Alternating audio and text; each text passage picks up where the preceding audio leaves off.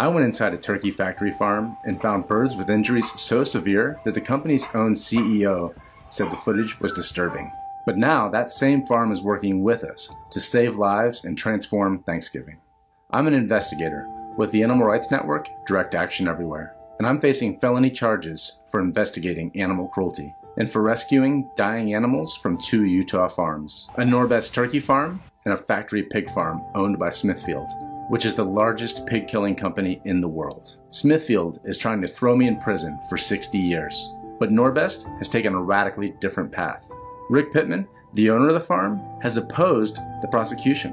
And last Thanksgiving, he released 100 turkeys to us in an act of goodwill and compassion. We brought those holiday survivors to farm sanctuaries around the country. And today, they are inspiring a growing movement for animal rescue. We weren't sure where this surprising collaboration would lead, but for the second year, we just saved lives together. And I believe if we continue the tradition of compassion, someday soon this entire farm could transform into a sanctuary and send a message to farms around the world that change is possible. We saw a glimpse of that future when we came to the table together animal rights activists that the government wants to label terrorists, and Rick, a Mormon turkey farmer, who has gotten to know us for who we are. We talked to Rick, shared some plant based food, and saw that our values aren't so different. We got you some vegan treats. Awesome. A couple Oh, brownies, Sugar. maple scone, You know my weakness. peanut butter bar. Is that your weakness? All right. Sugar is my middle name. Yeah, well, we're super appreciative of your generosity today and, and the compassion you're showing for the animals. Um, I think it's a very powerful act of mercy. And so we wanted to share some, some delicious foods Some for, for you and your workers too. And Awesome. we'd love to bring you any more No, if you'd I'm like. good. Okay. Perfect. Okay. When given the opportunity, most people would rather save a life than take a life, and farmers are no different.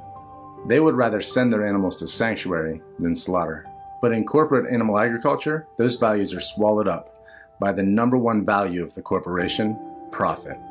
In 2018, the global meat market was valued at nearly a trillion dollars, and it's the largest companies that are bringing in the most money, like Smithfield Foods, with a yearly revenue of nearly $14 billion.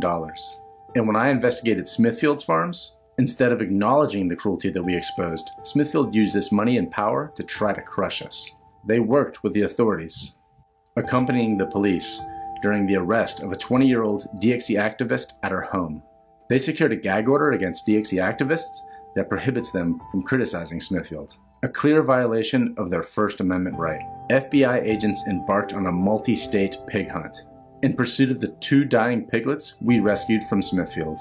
The company pushed for harsher legal consequences, and their prosecutor even reached out to the Norbest prosecutor to help make their case stronger. Now, the Utah Attorney General has accused me and my fellow activists of a pattern of unlawful activity.